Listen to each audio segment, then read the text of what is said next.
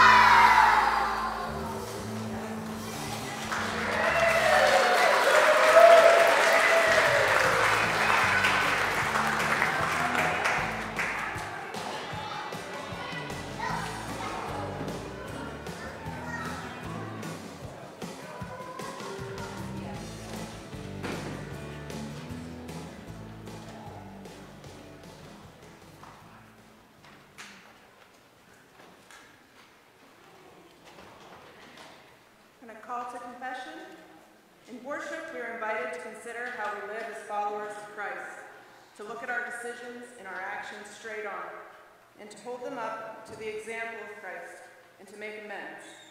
In this time of silence and in our prayer together, let us look at our lives. We pray first in silence.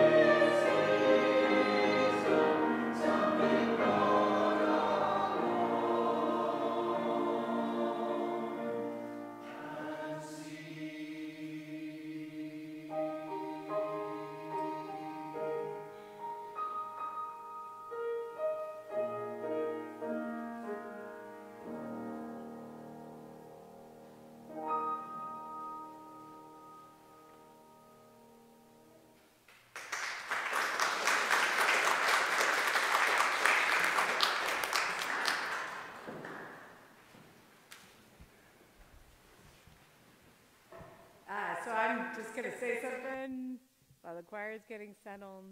I watched a lot of pastors stress over what they were going to say in the wake of the election, It cracks me up because I'm going to tell you about my basic philosophy. Um, I preach the word in and out of season. I planned this sermon series last June. Uh, treason came up last week because treason came up last week. It wasn't planned, right? And so uh, I will occasionally throughout everything I've planned for something, but it will almost always be a local tragedy. So once upon a time, we had someone murdered in our town by her daughter, and I, threw out the whole thing. Uh, but I'm never going to stop for a thing that happens regularly. So uh, you all can come to church after some whatever and know I'm just going to keep doing what I'm already doing. Uh, one of the things I want to say about Hebrews so we've been doing this one chapter in this book, but the book of Hebrews is so amazing. It's uh,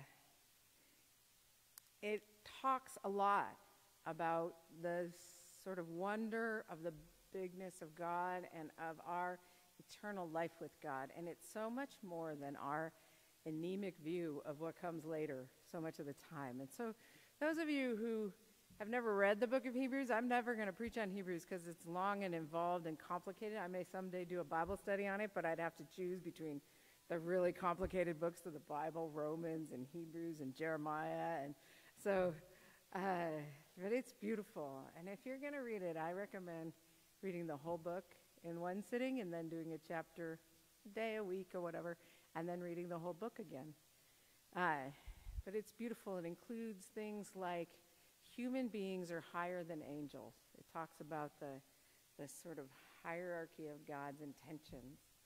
It, uh, it has the time in which people are all worried about the judgment, right? And it, and it has the beautiful line that the word of God that is sharper than any two edged sword is going to cut us all to the quick. So every being will come before God in one way or another. I have no idea what that looks like, but and just be laid bare, and we don't we can be our authentic selves before God, and everyone can be their authentic selves before God, unafraid because we stand naked. That's the other thing it says we stand naked, which is not so great to modest people, but you know what I mean. Like it's this beautiful image of us coming before a being that it doesn't matter.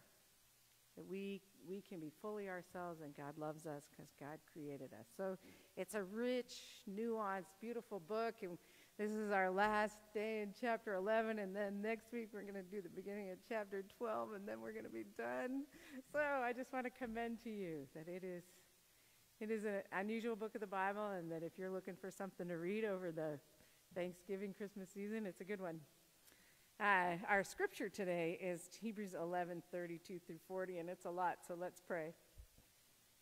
Our God, we ask that we would be people who hear you, who have faith in you, and who rise to the occasion in whatever way that we are called, but also that we would have our area of faith expertise, and that the world would be able to look to us as a person of faith expertise in that area and that we would be inspiring to other people, but also we ask that we would know how to look around and be inspired so that when our day comes, we are ready. Amen. So I've been reading 18 names. Hebrews 11, 32 through 40. This is what he has to say at the end.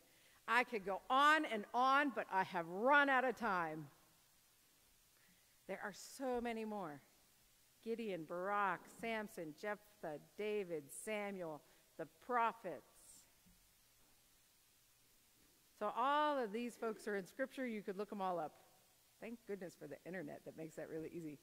You could all look them all up, read about each of them. But I love this little line. There are so many more, and naming off half a dozen that are really big ticket people in Israel's history. The preacher acknowledges we don't actually have to know it all. Just that so many people have been faithful in so many different contexts. We can take heart from so many being in the list that he doesn't have time to get to it. That these people are really faithful, maybe more faithful than us, but They're in difficult situations, and praise be to God, they're there for us to look at. And so that's what comes next. Through acts of faith, they toppled kingdoms, made justice work, took the promises for themselves. They were protected from lions, fires, and sword thrusts, Lear- turned disadvantage to advantage, won battles, routed alien armies. Women received their loved ones back from the dead. There were those who, under torture, refused to give in and go free, preferring something better, resurre- better resurrection. Others braved abuse, whips, and yes, chains and dungeons. We have stories of those who were stoned, sawed in two, murdered in cold blood. Story of vagrants wandering the earth in animal skins, homeless, friendless, powerless. The world did not deserve them. Making their way best as they could on the cruel edges of the world. So you see, the preachers, that's what the, like, uh, biblical studies name for the person who wrote uh, Hebrews, the preacher. The preacher races through their history. In that, those seven or eight names and those various stories, we get through the period of the judges, the kingdom, and the exile. They're all referenced. So that's 2,000 years of, of history. And then in 33 through 35, the names are eliminated, and only the deeds of faith appear. So initially, these folks are all very victorious in this story, conquering, powerful, the culmination of life over death in the moment, even. Women who've received their dead back through resurrection. So the author might have had in mind, like the widow who receives the child back in resurrection during the ministry of Elisha and Elijah. That happened twice in Kings. Or possibly Jesus' resurrection, because this is ro- written post resurrection. Might have been talking about the people who received resurrection when Jesus is around, like Lazarus. But then also, people don't get that. There's this hard contrast. Others died. So these suffered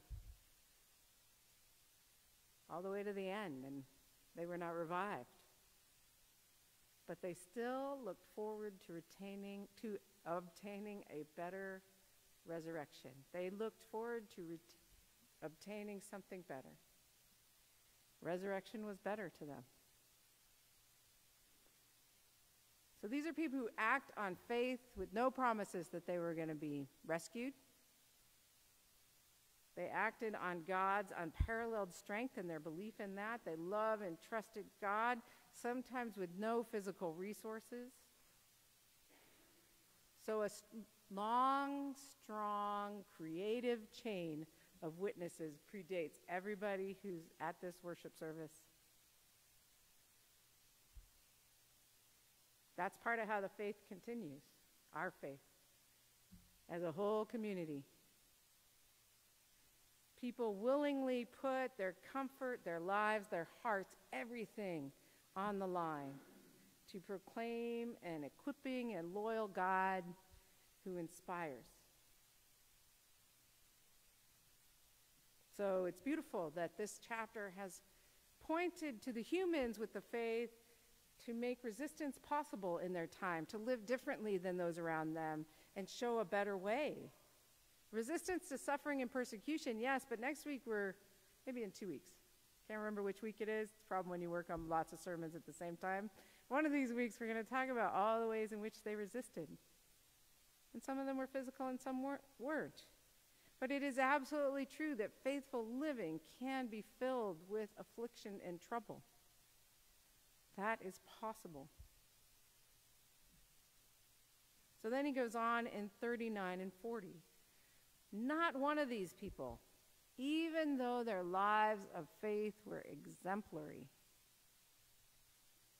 got their hands on what was promised.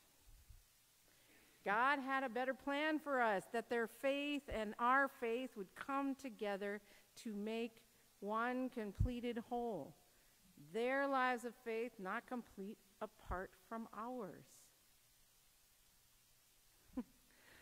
Do we think of this description as a better plan? I mean, despite the U.S. Christianity's adopting of the very individual, individualistic bent of our culture, ours is actually a deeply communal faith. I need you, you need me. My life is incomplete without your life of faith. Your life is incomplete without my life of faith. We are fractured without each other. That's also true of the church down the road, but right now, just talking about us. So we'll talk more about this as we go on before Advent. The next chapter will say, We are running our race as, as Christians. We are running a race. And we are running our race before a cloud of witnesses who have gone before. These people have gone before and they're watching us and they are cheering us on. But this whole chapter began with that reminder. Though Abel died, Abel was our first person. Though Abel died, he's still speaking through faith. Reminding them that the story of Abel is meant to help them and to speak to them, and is meant now to help us and to speak to us encouraging us, inspiring us, but also watching us. This is what it means for us to be the body of Christ, bound together, unable to work right without each other. And any of you, you know, the funny thing is, the Bible's uh, story of that, you can read that in 1 Corinthians, but, you know, it says this part has honor and this part has dishonor in our way of thinking, right? We cover up some parts, we uncover other parts. But I'll tell you, if you've ever lost a big toe, you know it's really hard to live without a big toe. So, whoever of you is the big toe, me or you, we really need you. We should never underestimate the power of someone when they're here or they're not here, when they're with us or they're not with us right? Because we are together to work together, but we also are here to rebuke one another when we need help, being better, to encourage each other when we're doing the good thing. And we are being watched. You know, last week we had those 19 names. Those beings are watching us in some way, shape, or form. And there were many beyond the people on the screen that were like deeply part of the Unity family, signed on the dotted line in some way. Many of you lost people who are dear to you, who are deep and faithful Christians, who are interested in still developing your faith. We are approved when we know of our interdependence. And what a gift! Our lives matter. You matter, and you matter, and you matter, and you matter. Everybody matters. So, Second Peter, you guys matter too, don't worry. Second Peter reminds me of this passage. I used to have this up on my computer because things were hard, and I was like, Jesus, it would be really great if you could come back, because I just like this to be over, right? And so I had this passage that sa- says basically that's the passage that says, God isn't being slow. For God, a, h- a thousand years are like a day, and a day is like a thousand years. But what it says is God is patience with, patient with us so that we should all reach repentance. God loves us and wants all of us to come together in the beauty and wonder that is faith in God. And we people are the next generation.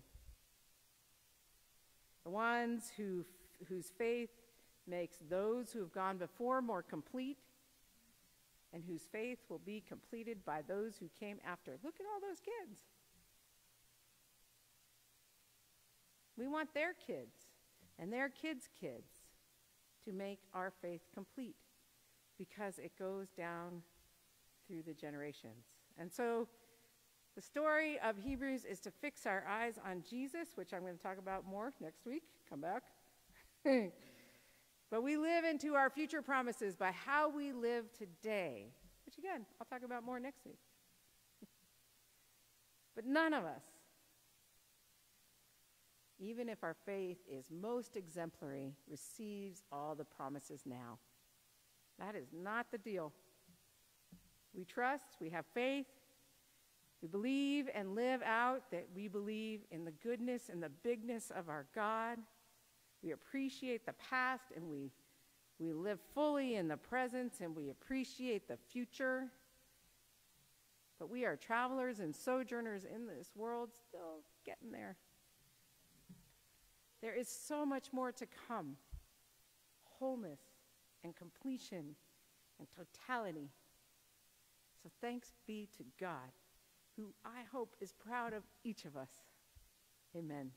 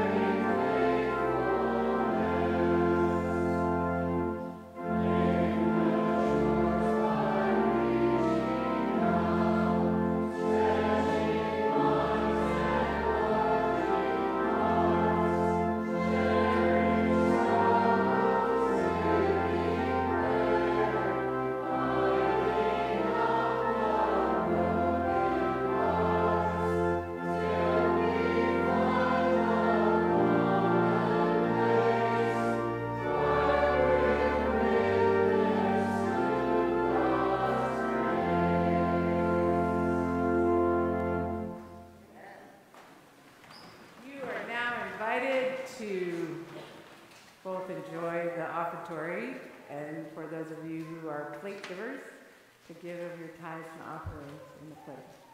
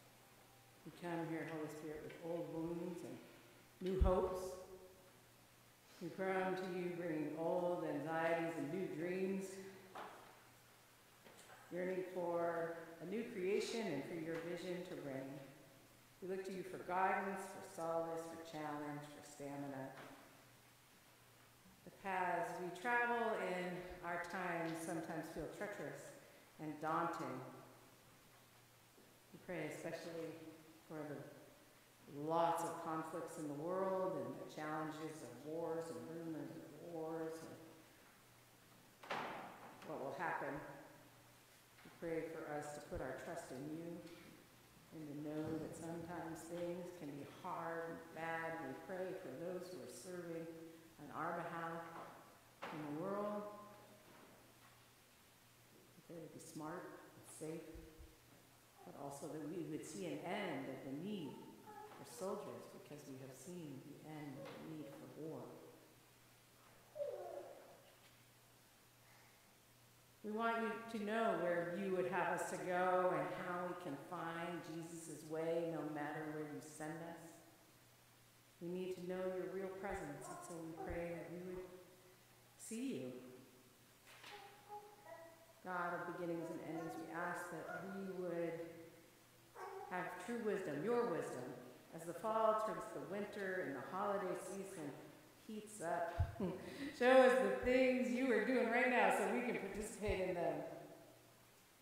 We're confident that the Spirit intercedes for us in our weakness, and so we pray that you would help us to say no to the things we should say no to, and yes to the things we should say yes to. We ask you to guide those in leadership positions making hard decisions difficult decisions that will impact us in this church as well as others. Those making decisions for our parents and our children, our neighbors and friends, our schools, our communities, our nation, our world. We pray especially for those at this exact moment having illness and death. And so we pray for Jan Fair's neighbor, Bob Vollmer's neighbor, uh, to have a quick recovery because she wants to come home. He or she wants to come home. So we pray for quick recovery from their hospitalization. Pray for the Campbell family. Sandy has died after a long battle with bone cancer. We give you thanks for Dennis Ryan getting out of the hospital. We pray for the Seggies and the extended Ryan family to be renewed after a stressful, icky week.